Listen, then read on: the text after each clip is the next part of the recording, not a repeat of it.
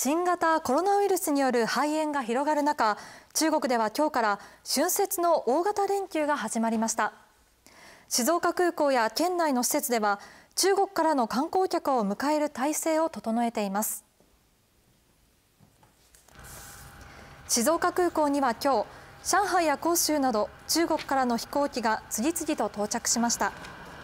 静岡に到着した中国人のほとんどがマスクをしていました。たった今中国からの国際線が到着しました。一人一人入念な体温検査を受けています。検疫では体温のチェックをより厳密に行っています。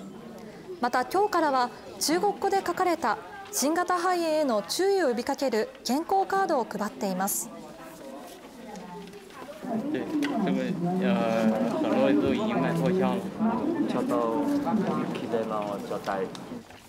接客をするものはマスクをつけるようにしております。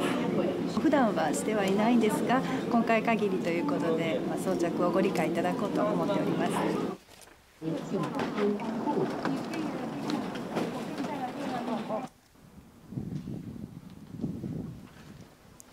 空港の近くにあり中国人にも人気のお茶をテーマにした博物館です。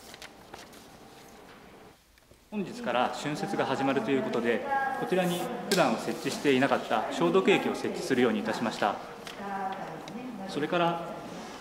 接客のスタッフの皆様にもマスクを着用してもいいというふうに、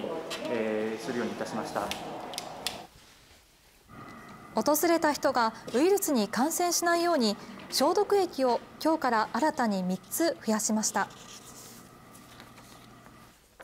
ご来館される皆様が安心して楽しんでいただけるように努めていきたいと思います。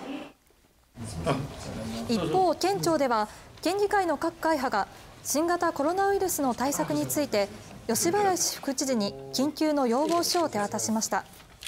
要望書では空港や港などで検疫を強化することや県民の不安を解消することなどを求めています。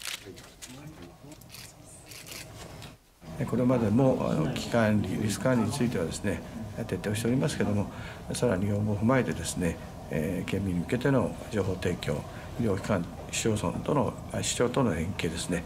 これについてしっかりあの、えー、進めていきたい。